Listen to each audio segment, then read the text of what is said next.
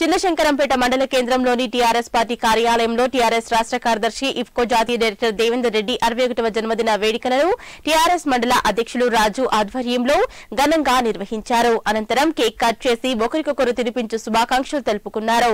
అనంతరం స్థానిక సర్పంచ్ రాజురెడ్డి టీఆర్ఎస్ మండల అధ్యక్షులు రాజులు మాట్లాడుతూ ప్రజా సమస్యలపై నిరంతరం పోరాడే వ్యక్తి దేవేందర్ రెడ్డి అని నియోజకవర్గ అభివృద్ధికి ఎనలేని సేవలు అందిస్తున్న దేవేందర్ రెడ్డి ఇలాంటి జన్మదిన వేడుకలు మరెన్నో జరుపుకోవాలని కోరుకున్నామన్నారు ఈ కార్యక్రమంలో రైతు సమన్వయ సమితి మండల కన్వీనర్ లక్ష్మారెడ్డి స్థానిక సర్పంచ్ రాజిరెడ్డి రుద్రాన్న సర్పంచ్ లక్ష్మణ్ టీఆర్ఎస్ మండల అధ్యక్షులు రాజు పీఎస్సీఎస్ చైర్మన్లు శ్రీనివాసరెడ్డి అంజిరెడ్డి ఉప సర్పంచ్ చిరంజీవి టీఆర్ఎస్ మండల ఉపాధ్యక్షులు రమేష్ కౌర్ తదితరులు పాల్గొన్నారు.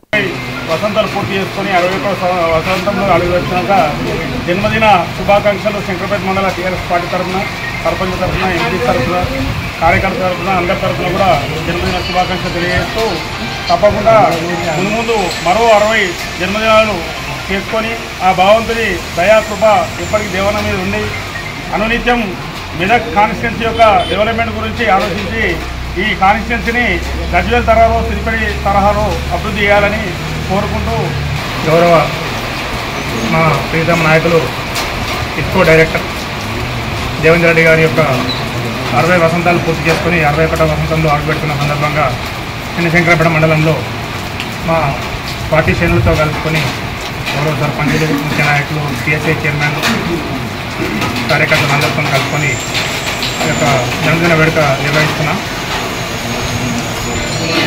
ముఖ్యమైన విషయం ఏంటంటే అందరికీ జనరల్గా ఒక ఎమ్మెల్యేనే ఉంటారు.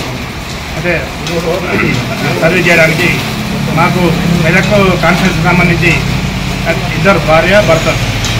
దేవేంద్ర పద్మక్క గారు మరియు దేవేంద్ర రెడ్డి గారు.